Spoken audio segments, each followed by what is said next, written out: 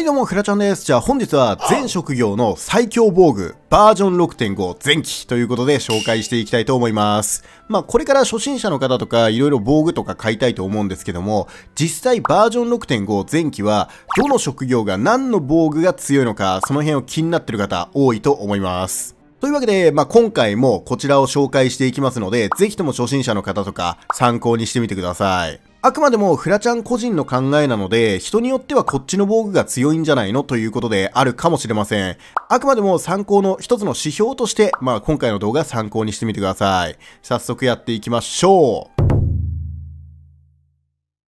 それではまずは一つ目、戦士から。戦士なんですが、一番最強だと思うのが、こちら、前大使系ということで、この前大使の鎧系なんですが、何が強いかって、これ、必殺チャージがプラス1%されてるんですね。まあ、これが個人的にはとんでもないことだと思っていて、この必殺チャージプラス1%っていうのは、これまでの防具、ついてなかったんですね。初めてだったんですね。基本的にこの効果というのは、盗賊で着れる装備とか、バトマスで着れる装備とか、そういうのに多かったんですけども、まあ、いよいよね、鎧系でもこの必殺チャージプラス1%が来たかということで、最近であれば戦士というのは、会心必中もめっちゃ強化されたし、先人の外貨新必殺技の方もすごく強化されました。まあ、特に新必殺技の先人の外貨なんかは、会心率を一時的に100%にする。それがここれまでは25秒の効果だったけど、まあ今ではね、60秒の効果になりました。そういうことで、まあこれとんでもないんすよね。使ってみればわかるけど、相当火力上がるし、めっちゃ気持ちいいんすよ。まあなので、必殺技というのは戦士今、めちゃめちゃに強くなってる。まあそういうことをやっぱ考えると、必殺チャージプラス1%というのはめちゃめちゃ強いセット効果ということになります。さらに便利なことに、受けた属性ダメージの10%が回復するわけですから、そう考えると、もう割と考えてみると、このゲームって属性技って結構多いんですよね。それを例えば、じゃあ500ダメージの属性技を受けました。そしたら、50HP が回復するわけですから、そうなると実質的に HP が50伸びたということになります。まあ、なので、まあお得感すごいですよね、すごく。回復だって楽になるわけだし、まあ言ってしまえば属性技の時だけ常時癒しの雨がかかってるみたいな、まあそんなレベルですよ。まあ、癒しの雨よりかは回復量はね、まあ半分になっちゃうわけですけども、まあそれでも全然いいですよね。まあなのでこの鎧というのはやはり戦士にとってめちゃめちゃ相性がいいものなんじゃないかなと個人的には考えております。まあこれ最強。で、一応前回の鎧とか比較してみるとですね、行動時5%でテンションアップする炎の鎧系とか、まあこの辺も確かに強かったんですけども、ただいまいちこうピンとこないんですよね。両手剣とか持てば確かに行動時5%でテンションアップとかするんで、まあ相性が良かったんですけども、まああとは片手剣とか使うんだったら早急兵団とか、まあこっちの方が強かったりとか、まあいろいろあって、まあ守備力的には炎の鎧の方がいいのかなとかなったりして、まあ、ところが選手というのはこれまで必殺技とかもあんま強化されてこなかったわけなんで、なのでまあこの辺というのは微妙だったんですが、今の選手であればもうこれマジ最強。やばすぎる。前までの選手だったら、いやこれよりも炎の鎧の方が良くねとかなってたんですけども、今はもうマジでこれ。はい、というわけでこちら、前大使でした。それでは続いて、僧侶。僧侶なんですが、個人的に一番最強だと思いますのが、こちら、オスクトル系ということで、見ていくとセット効果がこんな感じ。雷と闇ダメージが20%減されます。まあ単純にこれだけなんですけども、昔結構人気があったこちらのアビス系の完全な上位互換なんですね。まあこれ結構人気ありましたよね。まあその当時というのがガルドドンとか結構流行っていたんで人気だったんですけども、まあ今でも最近だとガルドドンレベル4だって出てきましたし、まあ特に最近なんかはキラキラポンの弱体化によっていろんな属性ダメージとかが怖くなったとこってあるんで、例えばメイブの雷とか、あの辺なんかはこれまではキラキラポンさえしておけば感電ダメージは防げましたけども、これからというのは感電ダメージが防げなくなってしまいました。まあなので、それを食らわないようにするためには雷耐性を100にする必要があったりするんですね。まあそういうことで、やはりオスクトル系というのは属性ダメージ20%、まあ、この雷がついているおかげで100%にしやすいですし、まあ、闇ダメージも同様。まあ、結構属性耐性の意味がだいぶね、最近では高くなってきたんで、まあ、この辺は結構いいと思います。まあ、ちなみに前の防具の不思議なボレロ系、これもね、強いんすよ。で、さらに前のロードリー系、これも強いんですよ。ただ、まあ、全体的に見て、じゃあ汎用的に最強と考えると何かなというと、一番回復魔力も高い、こちらのオスクトル系かなと思います。まあ、それぞれね、いいところはあるんで、敵によって付け替える必要は出てきたりはするんですけども、まあ、正直一番快適なのはこれ、不思議なボレロ、ジョージ・マホトラの衣なんで、MP の枯渇の心配がない。MP 使い切れるもんなら使い切ってみろと言わんばかりのこの性能。マジでこれ僧侶で使っても結構相性がいいんですよね。まあ、あとはちなみにこっちなんですが、ブレスト、あとは呪文ダメージ、これが10%と7%減されてるんで、まあそういうものをたくさん使ってくる敵に対してはロードリー系の方が良かったりはする。まあ果たしてこんだけやっぱ盛る必要はあるのかと言われたらない敵も多いので、まあ、そう考えるとオスクトル系がねかなりいいかなということで。まとめてこちら僧侶オスクトル系でした。それでは続いてが魔法使い。魔法使いなんですが、まあ、これに関しては不思議なボレロ一択かなって感じ。単純に属性ダメージが3%プラスされるんで、まあ単純にメラゾーマのダメージとかメラガイアとかマヒャデドス、その辺の威力が上がります。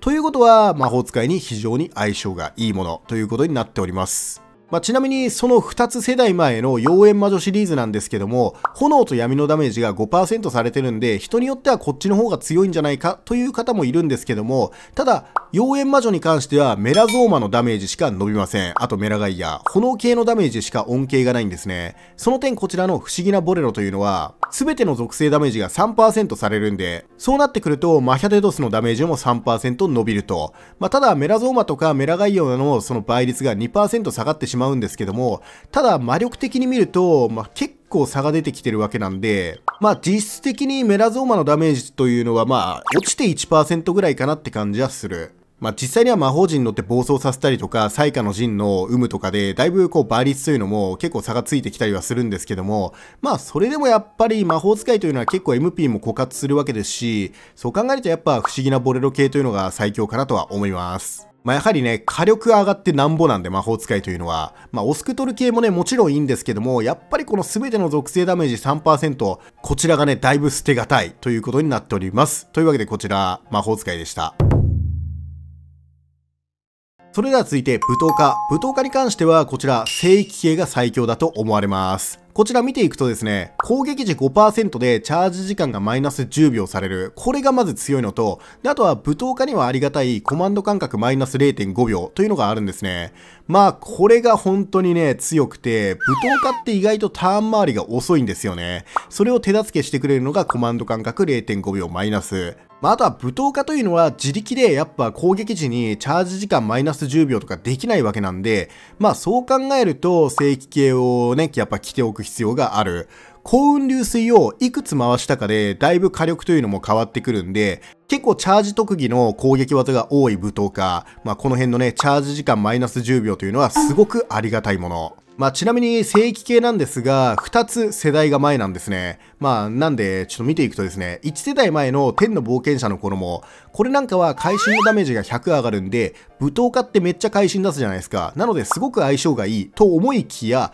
実は一戦好きのダメージ3999で、最近はカンストしてしまいがち。さらに、チャージ時間もマイナス10秒できないので、やはりその辺でもね、火力の差は出てきてしまう。単純にダメージがカンストしてしまうんであれば、会心ダメージがプラス100されたところで無駄になってしまうんで、幸運流水を使ってテンション3段階、もしくはスーパーハイテンション状態で一戦突きをした時に、まあ大体はもうカンストしちゃうんでね、もう非常にもったいないことになります。で、最新の防具なんですが、まあこちらのイグナイト系、これに関しては特技のダメージが15伸びるんですが、単発の技が結構多いんですね、舞踏家って。なので、こちらのダメージ15されたところで、そんなになんかダメージ的には伸びないということにもあるし、また受けるダメージ5を軽減したところで何が変わるっていうところでもあるし、まあスカラも正直ねっていう。まあなので、まあそう考えるとやはり未だに聖域系。まあというか、これ系のセット効果はもうずっとこれ。これ着ときゃ間違いないんで。というわけで舞踏家、聖域系でした。それでは続いて盗賊。盗賊なんですが、漆黒系が最強かなと思います。まあ漆黒系なんですが見ていくと、コマンド間隔0.5秒マイナスに、さらに必殺チャージ率がプラス1%、さらに必殺チャージ時、見返しがプラス10%されるということで、まあ、盗賊の必殺技って今結構強くなっていて、まあ最近だとね、お宝ハンターのダメージもちょいと上がって、まあ結構火力も出たりするし、さらにスタン効果も出すことができる。また盗み金策になってきても、お宝ハンターというのはめちゃめちゃ重要だったりするんで、まあその辺はね、やはりつけておく必要があるのと、まあ、あとは単純に新必殺技、ファントムなんだっけ？ちょっと名前忘れましたけども、その辺の威力というのも全体に4、5000ダメージ飛ばしてくれるんで、そう考えると火力的にもだいぶ高い。さらにスタン効果持ち。一応最新装備見ていくんですけども、こちら、ラッパの忍び装束ということで、移動速度が3%されて、同じく必殺チャージがプラス1%されて、特技のダメージが20なんですけども、最近のやっぱ盗賊で言えば、特技ダメージって伸びないんですよね、爆弾の威力って。まあ、爆弾って特技なんですが、あれは完全に別物なんですよ。なので、そこがまず無意味になる。まあ、他にもね、いろいろ攻撃技ってあるんで、まあ、その辺で活かしていくことは可能なんですけども、まあ、必殺チャージプラス1%にしては、まあ、かなりありがたい。まあ、移動速度に関してもありがたいんですけども、まあ、ただやっぱ2つ無駄になりがちなんですよね。移動速度3%って、正直そんな走り回るかと言われたら、まあ、恩恵的に考えるとそんなにないし、特技ダメージに関しても爆弾の威力が伸びなければ、まあ、正直って感じはするし、そう考えるとコマンド間隔もマイナス0.5秒されて、さらに必殺チャージに三河足プラス10%されるこちらの漆黒系が最強だと個人的には思っております。まあ、というわけでこちら盗賊でした。それでは続いて旅芸人。旅芸人なんですが、これ結構悩んだんですが、まあ、やっぱ個人的に強いなと思うのが性欲系なんですね。まあ、これは攻撃時5%でチャージ時間がマイナス10秒されるんで、まあいろいろ回転率が上がりますよね。デュアルブレーカーを何回も打てたりとか、で、あとはレボルスライサーとかも旅芸人結構 CT が速いですから、まあその辺も結構回しやすくなったりとか、まあそういうことあって、やはりこの決め手は攻撃時5%でチャージ時間マイナス10秒だったかなって思う。一応他の防具とか見ていくと、スパングルドレス系に関しては必殺チャージがプラス1%されて、さらに特技のダメージも20伸びると。最新の防具に関しては特技の効果範囲が1メートルされて、さらに回復量が30%アップするんで、まあこの辺も結構相性はいいんですよね、旅芸人。まあただ考えてみると、旅芸人って実際何をするかって考えると、デュアルブレーカーぶち込んで、レボルスライサーぶち込んで、で、あとはまあ定期的に回復するぐらいなんですよね。まあ、デュアルブレーカーとかデュアルカッターとか、で、あとはレボルスライサーとか慣れて、全体の火力をサポートするっていうのが、まあ、旅芸人のいいところだったりはするんで、それをやっぱ最大に伸ばすんであれば、チャージ時間をマイナス10秒させた方がいいのかなって感じはする。まあ、もちろん攻撃だけだったら、こっちのスパングル系の方がダメージが20伸びるんでいいんですけども、まあ、ただ本当にそれでいいのかと、判断基準は果たしてそれでいいのか考えた時に、個人的にはチャージ時間マイナス10秒ついてる性欲系がいいと思いました。まあ、これに関してはね、人によって全然違うと思う。範囲伸ばした方がいいんじゃねとか、ハッスルダンスいっぱいやりたいんでっていう人は、まあこっちのプロディートスーツの方がいいと思いますし、まあその他にもデュアルカッターだけ投げたいっていう人はスパングル系の方がいいと思うし、フラちゃんみたいに旅芸人はパーティー全体をサポートするって考えだったら、まあこっちの方がいいのかなって感じはするし、まあこの辺はね、ちょっと難しいところ。まあというわけでこちら旅芸人でした。それでは続いて、バトルマスター。バトルマスターなんですが、個人的に最強だと思うのはこちら、イグナイト系ということで、最新防具なんですが、特技のダメージがプラス15伸びます。で、さらに受けるダメージ高軽減に行動時5%スカラー。えー、これの何が強いかと言いますと、特技ダメージプラス15ですね。もうそれだけです。まあ、バトマスって天下無双めっちゃ強いわけじゃないですか。片手剣二刀流にすれば7段ヒットのそういうダメージなんですけども、まあそれが単純に特技ダメージ15伸びるとすれば、まあ全部に乗るわけですよ。そうなると結構天下無双のダメージっていうのも全体で見ると上がってきますよね。まあ人によってはこっちの天の冒険者系の、まあこれの方がいいんじゃないかっていう人もいるんですけども、まあ正直どっちがいいかって言われると、まあ、ちょっと個人的には結構悩んだところではあるんですけども、一応なんか検証した人がいるみたいで、イグナイト系と天の冒険者のシリーズ、これというのは火力でどれぐらい差があるのかって考えると、ぶっちゃけ、まあ、どっちもケースバイケースらしいんですね。まあ、正直誤差ということで、言うんであれば、やはりダメージとか軽減できるこっちの方が強いんじゃないかということで、個人的な判断に至りました。まあ、ただね、会心率とか上がるこっちの方が強いんじゃないかとも考えたんですけども、まあ、やっぱ、全体のダメージを伸ばせるね、特技ダメージプラス15っていうのは、まあ結構でかいんで、バトマスには非常に相性がいい。で、ここで、あれ、フラちゃん、チャージ時間マイナス10秒しなくていいの？聖域系じゃダメなの？っていう。まあもちろん聖域系でもいいんですけども、ただバトルマスターに関しては片手剣を二刀流にするんであれば、こちらの起点の剣があるわけですよ。これの起点の剣のセット効果というか基礎効果というのが攻撃時10%でチャージ時間がマイナス10秒されるというものなんですね。これ左手に持っても反映されるんで、なのでバトルマスターというのは自力で、まあ片手剣にはよるんですけども、チャージ時間をマイナス10秒することができます。そう考えると別に聖域系じゃなくてもいいよねということで、まあ、今回こちらバトルマスター紹介させていただきました。それでは続いてパラディン。パラディンなんですが、まあ、これがなかなかに難しかった。まあそれでもやっぱ考えるとね、まあこれが最強なんじゃないかということで、前大使系ということでね、まあ確かに最近パラディンって火力出せるようになって、まあいい感じなんですよ。まあサミダレ好きでね、もう普通になんか常時3000ダメージぐらい出しちゃうみたいな。まあなので人によっては早急兵団の方が強いでしょっていうことで考えると思うんですけども、まあただやっぱ個人的に思うのはパラディンって、まあ火力は確かに強くなったけど、別にバトルマスターぐらい火力が出せるかと言われたら微妙ですし、魔物使いぐらいね、もう火力ガンガン出してね、HP リンクができるんだったらまあいいけど、まあそうできるかと言われたらできないわけなんで、そう考えるとやっぱ必殺チャージができるこれ、まあ、最近だとパラディンガードだっては割と優秀ですし、で、あとは、成功の鎧でしたっけ？自分の HP500 上げるやつ。あれなんかもうパラディンの需要が増えて、もう結構なんか輝き始めた。前までだったら HP500 増やして何なの？みたいな感じでしたけども、まあ、最近結構ありがたいっすよね。まあ、そういうことで、まあ、こちら必殺というのは結構ありがたいわけですし、さらに受けた属性ダメージの10%回復するということで、まあ、さっき戦士で解説した通り、まあ、割とありがたい効果なんですね。まあ、なので全体をサポートするのがパラディンの役目だったりするんで、そう考えるとやはり必殺を引いた方がいいのかなとも感じますし、単純に重さが一番高いというのも判断の一つになっております。守備力も一番高いんでね、やっぱ硬い方がいいでしょ、パラディンは。まあ、というわけで、火力だけ追求すれば早急兵団なんですが、まあ、やはり全体のことを考えると前大使の方がいいかなと思います。それでは続いて、魔法戦士。魔法戦士なんですが、個人的に一番いいと思うのが、これ、空賊系ということですね。まあこれによってはね、ほんと賛否両論あって、正直難しいんですけども、人によっては漆黒の方が強いという人もいれば、こっちのラッパの方がいいんじゃないかみたいな、まあそういう人もいますし、じゃあなんでフラちゃんが空賊系をこんなに好きかと言いますと、行動軸20%でバイションがついてるからなんですね。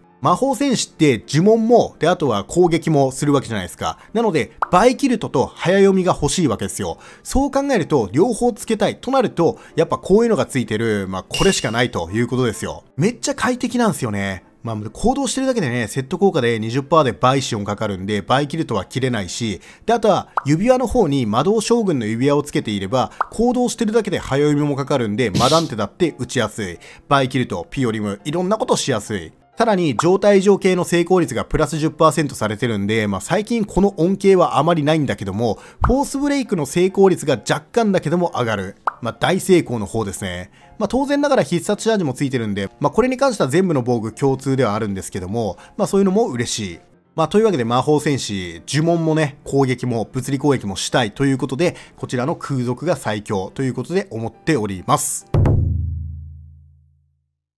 はい、というわけで続いてレンジャー。レンジャーに関しては、個人的に一番役立ったなと思うのが、これ、プロディート系。これ実際やってみたんですけど、これ守りの切りとかね、めっちゃこう周りにかけやすくなるんで、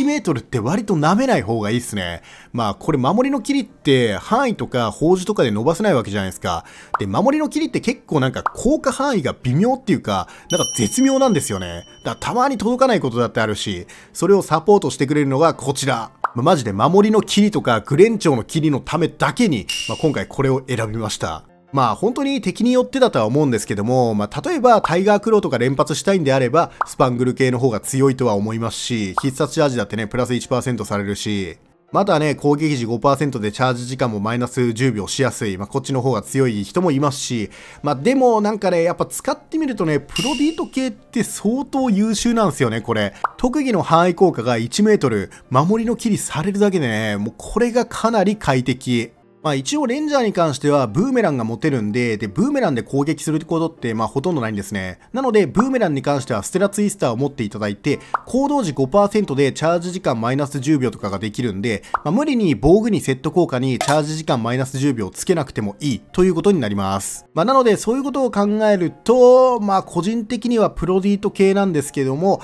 まあこれもね、やっぱ賛否分かれると思う。まあ、やっぱ出品数とか見ても結構これ品数があるんで、まあ、みんなもね多分強いということで思っているんでしょうか。まあ、その辺はよくわかりませんが、まあ、プロディート系結構優秀なんでこれ使ってみればわかります。それでは続いて賢者。賢者なんですが、個人的におすすめなのはこちら。不思議なボレロ系ということで、まあこれ、まあ全ての属性ダメージが3%されるんで、単純に火力が一番高い。で、こっちの最新装備の方なんですが、オスクトル系、これに関しては、雷と、まあ、僧侶で解説したんですけども、まあ、闇ダメージが20%減されるということであるんですけども、ただ、賢者の場合、そこまでじゃあ属性ダメージを気にすることがあるかと言われれば、なんか僧侶ほどはない気がするんですね。まあ、やっぱ賢者を入れるっていうのは火力を出してくださいっていう意味で入れることが結構あったりするんで、まあそう考えると不思議なボレロ系っていうのはめちゃめちゃ相性がいいし、まあ、あとは割と MP 効率悪いんで、賢者って。なので、そういうことも手助けしてくれる、ジョージ・マホトラの衣がついた、こちらの不思議なボレロ系というのが、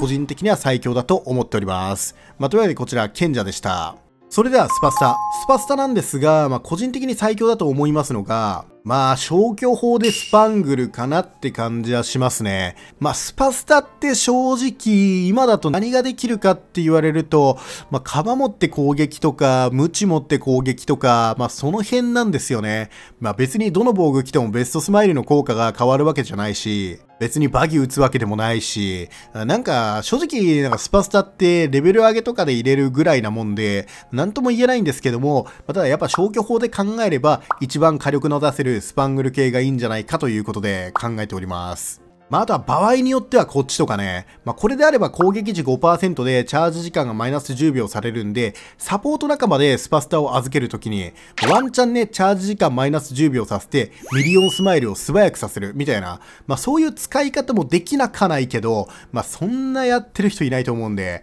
まあ、というかマジで誤差中の誤差だと思うんで、そう考えると、スパングル系が必殺チャージもプラス1%されていいのかなって感じはする。まあ、ただ、ちょっと問題なのが、サポートで使う場合に関しては、必殺チャージプラス1%というのは、ちょっと微妙になってくることもある。というのも、スパスタってベストスマイルさせたいわけですね。まあ、それを必殺チャージがされたことによって、ベストスマイルをせずに、なんか必殺やって、無駄な時間やってるとか結構あったりするんですよ。人が使うんだったらスパングル系の方が強いとは思うんですけども、ただ、サポートとかで使わせるんだったら、まあ、プロディートとか、で、あとはこっちの性欲系とか、まあ、こっちの方がいいんじゃないかなと思います。まあ、それでもやっぱ正直全ての防具誤差だと思いますので、まあ、この辺はもう己の趣味というか、まあ、その辺で着ていただいたらいいのかなって感じはする。まあ、というわけでこちらスパスタでした。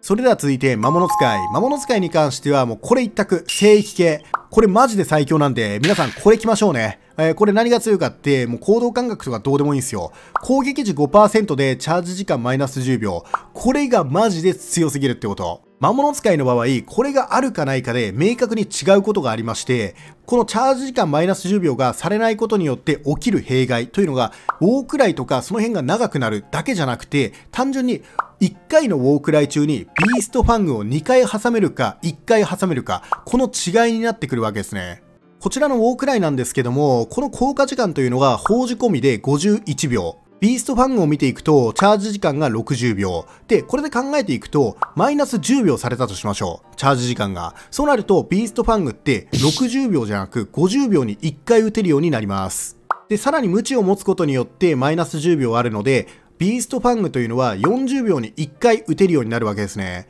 まあ、そう考えると考えてみてほしいんですけども、ウォークライの効果時間というのは51秒。まあ、使った瞬間にまずビーストファングをぶち込んで、で、そうなると、残りのウォークライの時間中にビーストファングがもう1回溜まるんですね。まあ、残り8秒ぐらいで溜まるんで、結構早めに打たないと結局打てないんですけども、まあ、それでも1回のウォークライ中にビーストファングを2回ぶち込めるっていうのは、まあ、結構火力的に変わってくるものなんで、まあ、なのでそういうことを考えると魔物使いというのは聖域系一択ということになります。異論は認めません。聖域系来てください。はい、というわけでこちら魔物使いでした。それでは続いて動物界。動物界に関しては、こちら空賊系ということで、まあ空賊大好きなフラちゃんなんですけども、これもやっぱ賛否あると思う正直。まあ魔法戦士の時に言った、結局動物界って呪文と攻撃両方したいわけじゃないですか。そう考えると魔法戦士の時に言った全く同じことなんですが、まあ行動時に20%でバイションかかって、さらに魔導将軍の指輪で、さらに早読みもかかってしまうということであれば、やはり動物界はこれの方が相性いいんじゃないかなと思います。まあ正直他の防具に関しては、動物界と相性がいいかと言われると、まあそうでもないんで、移動速度が上がったから何なのって話ですし、ね、最新の防具に関しては。特技ダメージが20伸びるのは、弓の攻撃が結構上がるのは嬉しいんですけども、まあ、そんなにじゃあ弓でガシガシ攻撃するかと言われたら、じゃあそんな攻撃したいんなら他の職業でどうぞみたいな感じにもなるし、まあ、そう考えるとやはり快適性を求めて空賊系になるんじゃないかなと思います。まあ意外とね、でも空賊系って人気がないので、まあこの辺はね、みんなの考え方次第ってところですね。快適性を選ぶんだったらもう空賊一択、みたいな感じだと思う。それでは続いて、踊り子。踊り子に関しては正直使う武器によるとしか言いようがない。まあ、あらかじめ解説しておくと、まず、まず正規系に関しては、まあ、これはまず安定的に強いですね。攻撃時5%でチャージ時間がマイナス10秒されるんで、踊り子にとってもかなり相性がいい。まあ、あとはこっちのプロディート系というのも、まあ、かなり強い部類でして、特技の効果範囲が1メートルされるって結構ありがたいんですね。まあ、これなんかは、蘇り節の効果範囲が上がったりとか、その方が回復のララバイの効果範囲が上がったりとか、あとは戦機の乱れ舞とか、この辺なんかも結構効果範囲狭かったりするんで、それが伸びたりとか、結構ありがたい効果。で、武器によると言ったんですけども、まあ、やっぱチャージ時間マイナス10秒はしたいわけですよ。まあ、そう考えると、このエレガントポイズンを持つんだったら、まあ、プロディート系の方がいいのかなって感じはするし、あとはこっちのセーラスだが、最新の方ですね。まあ、これを装備するんだったら、まあ、プロディートとか、まあ、他の防具の方がいいのかなって感じはする。まあ、本当に踊り子に関しては立ち回り次第みたいなところではあるんで、まあ、スパングルの方が強い場面だってありますし、まあ基本的にとりあえず何も考えないんだったら正規系一択かなって感じはしますね。もう、とりあえずこれ買っておけばバトルマスターでも舞踏家でも来やすいんで、魔物使いでも。まあとりあえず正規系買っとけばまあ間違いないかなって思います。というわけでこちら、踊り子でした。それでは続いて、占い師。占い師なんですが、もう2択。オスクトル系か不思議系ですね。まあ不思議系であれば全ての属性ダメージが3%されるんで、火力が単純に上がる。オスクトル系に関しては何回も説明してるんですが、雷と闇ダメージが20%減されるんで、まあ属性ダメージ100とかにして、ちょっと前衛寄りになんかサポートしたいなって場合だったら、まあこれの方が強いと思いますし、まあ本当に立ち回り次第なところではあるんですけども、まあ、全体的に使いやすいんだったらやっぱ不思議系かなって思いますね。まあ単純に属性ダメージ上がるわけなんで、占い師にとってはめっちゃ相性がいいものということになります。まあ、ただ最近、占い師でじゃあ攻撃ガンガンするかと言われたら、まあそうでもなかったりはするので、まあちょっとどっちがいいんだろうって考えると、まあ正直微妙なところではあるんですけども、まあただ、すべての場面で需要があるのがすべての属性ダメージ3%プラスなんで、まあこっちかなって思いますね、個人的には。まあとりあえず占い師でした。で、続いて、天地雷鳴師はもうこれ、不思議な帽子ということで、まあ、不思議シリーズですね。もう天地雷鳴師って、めちゃめちゃ MP 効率悪いんですよ。明道風魔、マグマ、水準の竜巻、そんなことばっかやってると、一瞬で MP がなくなってしまう。それを補ってくれるのが、これ。本当にありがたい。これを着てるか着てないかで、マジでレベル上げとかの効率とかもだいぶ変わってくるんで、これを着てるか着てないかで、サポート討伐とかのなんか効率というか、まあ、それを着ていないサポートとかを雇うとですね、よくわかるんですけども、エルフの飲み薬とか上げに行かないとダメなんですよ、途中で。ところが、この不思議系を着てるんであれば、MP なんて基本的に減ることはないので、まあ、やっぱサポートで使うにしろ、自分で使うにしろ、やっぱ不思議系というのは最強かなと思います。まあ、単純に属性ダメージも3%されるんで、天地内名詞にこれほどありがたい防具がないかなと思っております。まあ、というわけでこちら、不思議系でした。それでは続いて、遊び人。遊び人はもうこれかなと思ってる。スパングル系。最近だとね、もう遊び人の必殺ってマジでメドローワ級じゃないですか。必殺チャージした方が絶対いいんすよ。まあ、これ来ましょう。さらに特技のダメージも20伸びるんで、片手剣とかその辺の多段攻撃も多い遊び人にとっては、まあ、結構優秀かなと思います。一応最新のプロディート系なんですが、まあ、単純にこれを採用しないのは必殺チャージプラス1%がついていないからなんですね。まあ、ということで、はい、遊び人これ来ましょう。で、続いてデスマスター。デスマスターなんですが、まあ一番やっぱおすすめなのはこれかなと思います。まあ需要とか考えるとオスクトル系ですね。最近だとデスマスターってやっぱ一番輝くのがガルドドンとかその辺じゃないですか。ガルドドンって雷耐性欲しいんですよ。雷耐性欲しいってことはもうこれなんですよ。100にできるんであればね。100にできないんであれば別の方がいい。例えば不思議系とか。まあなんですけども、まあ結構ありがたいんでオスクトル系のこのダメージ軽減って。まあ100にするんだったらもうこっち行きましょう。まあ別にデスマスター自体そんな MP 効率悪いかと言われればそうでもないし、まあだったらロードリー系の方がいいのかなとも感じたんですけども、まあこんなビビたるブレス耐性と呪文耐性もって何になるんだって考えると、やっぱジョージ・マホトラの衣を発動してるとか、すべての属性ダメージが3%されるこっちの方がいいのかなとも感じますし、まあどっちかですね、属性耐性100にできるんであればオスクトル、できないんであれば不思議系かなって思います。まあというわけでこちらデスマスターでした。で、続いてがね、魔剣士なんですけども、魔剣士に関しても、これ、前大使系、これが本当に戦士系のその鎧の中では一番強いと思ってる。まあ単純にね、もう何回も説明してるんで結構省くんですけども、まず魔剣士の場合必殺がなかなかに強い。レンマの秘宝とかあの辺使うだけでだいぶ火力も上がりますし、もう常時ね、使っていきたいところ。まああとは受けた属性ダメージの10%回復するっていうので、まあ結構ありがたかったりする。まあそういうことで別に語ることもあんまりなく、もうとりあえずこれが最強かなっていう感じはします。まあ、一応、早急兵団に関してはダメージが10伸びるんで、まあ、火力だけ考えれば、まあ、確かにこっちの方がいいとは思うんですけども、まあ、ただ必殺チャージとかその辺考えると、まあ、全然埋め合わせは効くので、まあ、とりあえず、まあ、これの方がいいかなっていう、まあ、そんな感じですね。それでは続いて海賊。海賊に関しては漆黒系が一番いいと思っております。まあ、コマンド間隔0.5秒あるかないかでだいぶ変わってくるんで、大砲の置く感覚とか、であとは砲撃ロックオンする感覚とか、まあ、この辺がね、体感でやっぱわかるぐらい変わってくるんで、まあ結構ね、この漆黒系っていうのは優秀ですね。必殺チャージもプラス1%されるんで、で、最新の防具とかと比較してみると何があるかっていうと、まあ最新の防具って移動速度3%、まあありがたいんですけど、まあ正直誤差なんで、まあいるかいらないかで言われたらどっちでもいい。特技ダメージに関しても最近では海賊というのはもう別に自分の特技で攻撃することってないんで大砲任せなんでそう考えると大砲にとって、まあ、この特技ダメージプラス20っていうのは意味がないものということになります。まあなので、まあ海賊に関しては漆黒系かなって思いますね。もうぜひともこちら来ましょう。で、最後、最後、ガーディアンなんですが、もうガーディアンもこれ、前大使。まあ、というのも、必殺チャージプラス1%って、ガーディアンのゾーン状態、あれも含まれるんですね。あれもまあ、実際必殺みたいなもんなんで、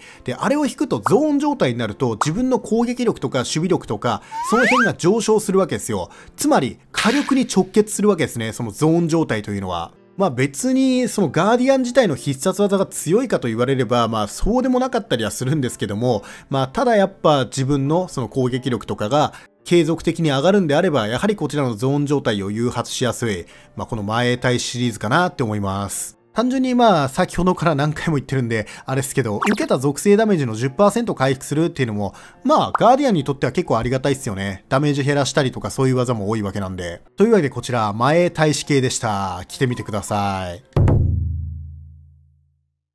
はい。というわけで、いかがでしたでしょうか？ちょっと長くなっちゃったんですけども、全職業のおすすめ防具ということで紹介しました。まあ正直ね、何の防具着るかは皆さん次第ではあるし、その時によってちょっと環境というのも変わってくるんで、もしかしたら次の床闇とか聖守護者がなんか追加されました。そうなった時にまたちょっと環境が変わってきて、今回の動画の内容とは少しずれてしまうこともあるとは思うんですけども、まあ、とにかく現状考えられる最強防具っていうのは、個人的にはこんな感じかなと思うことで紹介させていただきました。ぜひとも指標の一つとして見てみてください。今回の動画がためになったら高評価とチャンネル登録よろしくお願いします。そでは皆さんまた会いましょう。さよなら。